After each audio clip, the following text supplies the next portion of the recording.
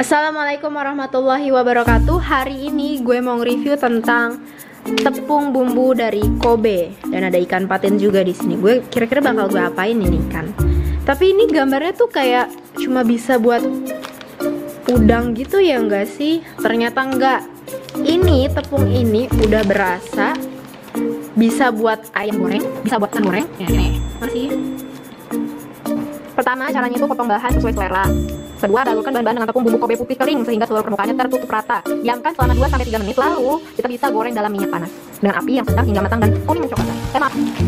Jadi karena gue suka banget pakai tepung bumbu dari Kobe ini, gue beli banyak di rumah tuh ada. Ada juga yang lain-lainnya sih. Gue bakal nyoba yang ini ikan, oke? Okay?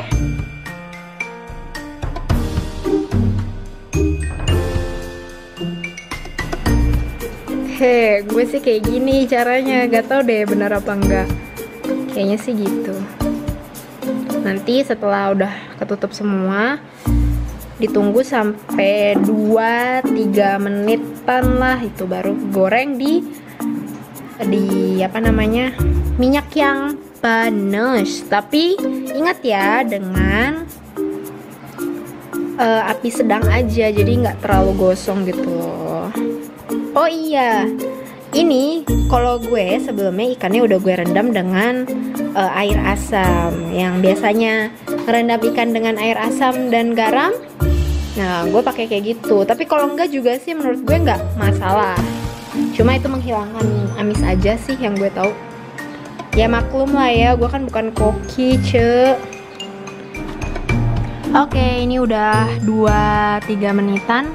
Karena waktunya kita goreng di minyak panas. Ini udah panas ya? Ini apinya sedang sedang aja Bismillahirrahmanirrahim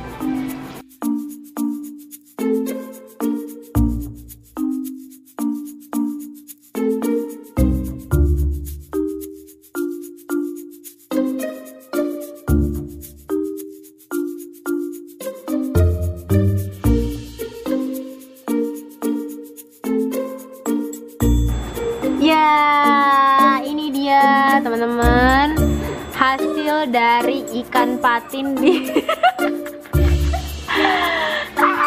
kucing gue. Yeay, ini dia teman-teman. Hasil ikan patin ditepungin bumbu dari Kobe yang akan membuat gorengan gurih dan garing. Bagus banget ya nggak sih? Ada bunga mawarnya segala gue bakalan nge-review itu aja sih sebenarnya tapi gue coba nih beneran enak gak sih ya Nadia? Ya Allah Bismillahirrohmanirrohim Bismillahirrohmanirrohim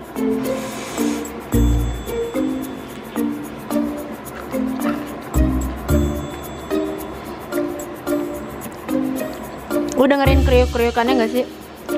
Denger gak ya? Ternyata sih asli.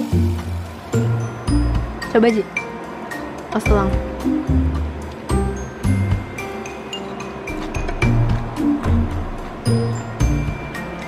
asin gue udah bilang kan gak perlu dibumbuin lagi. Kita cuma perlu tepung dari Kobe ini. Oke? Okay? dicoba ya. Dah. Assalamualaikum warahmatullahi wabarakatuh